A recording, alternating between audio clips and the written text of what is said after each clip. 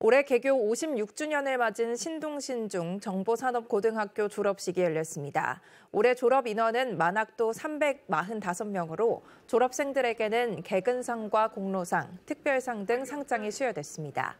지난 1968년 6월 최중재 교장이 설립한 신동신중 정보산업고등학교는 뒤늦게 공부를 시작한 만학도들에게 교육의 기회를 제공하고 각종 자격증 취득을 돕고 있습니다.